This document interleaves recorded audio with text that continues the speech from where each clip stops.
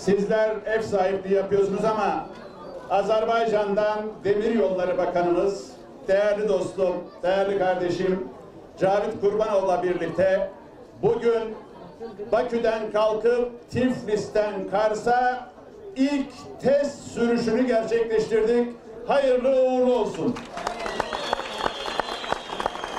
Değerli hemşehrilerim, tabi Bakü Tiflis Kars Demiryolu projesi sadece Türkiye'nin değil, sadece Gürcistan'ın değil, sadece Azerbaycan'ın değil, bu üç ülkenin ortak projesi olmakla birlikte yerine getireceği görev, yapacağı hizmet nedeniyle Londra'dan Pekin'e demir yolunu kesintisiz hale getirerek bir dünya projesi olacak.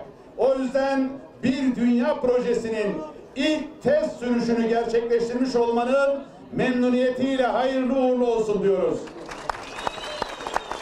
Ve yine biliyoruz ki biliyoruz ki yıllardır memleketimiz Azerbaycanlı kardeşlerimiz iki ülkenin kardeşliğinin pekişmesi adına bu projeyi hasretle bekliyordu. Rabbimize ne kadar hamd etsek, ne kadar şükretsek azdır. Değerli dostum Cavit Kurbanoğlu'la birlikte biz bu projelerin başlangıcında bürokrat olarak görev almıştık. Ne kadar zor süreçlerden, ne kadar çetin süreçlerden geçtiğimizi ikimizden iyi bilen yok. Dolayısıyla o kadar zor süreçleri, o kadar çetin süreçleri geride bırakıp bu kadar önemli bir projenin bugün test sürüşüyle Bakü'den Tiflis'e, Tiflis'ten Kars'a gelmiş olmanın memnuniyetini herhalde kelimelerle ifade etmek çok zordur.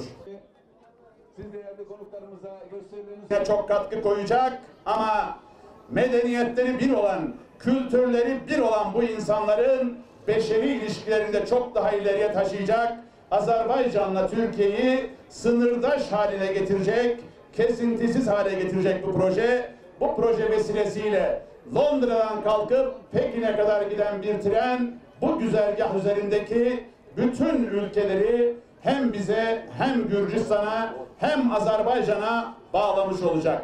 Hiç şüpheniz olmasın ki refah getirecek, ümran getirecek, medeniyet getirecek, bu bölgelerin kalkınmasına çok ciddi katkı koyacak. Biliniz ki ulaştırma demek zaten kalkınma, zaten gelişme demek. Hele ki bu kadar önemli bir koridorda dünyanın ortak koridor diye bellediği, Çin'in tek kuşak, tek yol dediği ve Azerbaycan'la Türkiye'nin de bu fikre destek verdiği bu ortamda bu proje inşallah etrafındaki bütün illeri, bütün bölgeleri ihya edecek. Bugün Kars'ta olmamız hasebiyle Kars'la ilgili de bir cümle söyleyelim. Kars Lojistik Merkezi ile birlikte bu proje çok daha anlamlı hale gelecek. Zaten size sözümüz vardı. İnşaatı başlıyor. İnşallah önümüzdeki yıl Kars Lojistik Merkezi'ni de bitirdiğimizde bu bölgenin insanına aş, ekmek, istihdam, esnafına da sıcak para anlamına gelecek projeler bütününü gerçekleştirmiş olacağız. Olağanüstü gururluyduk. Olmaz denen, yapılmaz denen, kandırılıyorsunuz denen Bakü Tiflis Kars Demiryolu projesinin testini kazasız belasız çok başarılı bir şekilde gerçekleştirdik. Bu anlamda da arkadaşlarımızın emeği var. Onlara çok çok teşekkür ederim. Ben geldim, benim hürmetli dostum, kardeşim Ahmet Bey kimi beraberle böyle güzel danışabilmirəm. Ama çalışan ki Danışırsın, danışırsın. Sen ki, sen ki şair çocuğu, şair torunusun.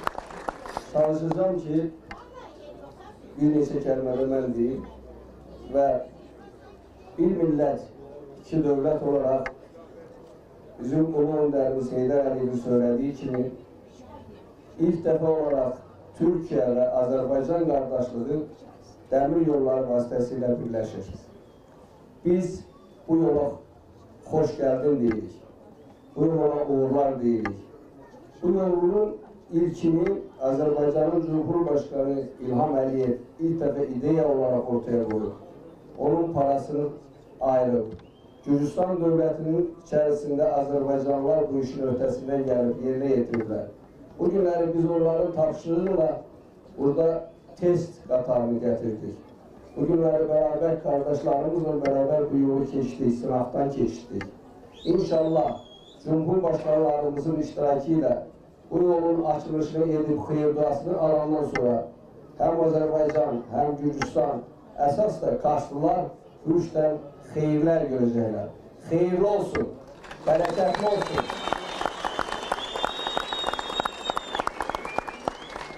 Qarşılara dünyanın ən və yaxşı şeyi varsa, türklərə dünyanın ən və yaxşı şeyləri varsa, hamısını arzu edirəm. Sağlam olun, salavat olun. Yaşasın Türkiyə. Yaşasın Türkiye Azerbaycan dostu. Eşk olsun Türk milletine.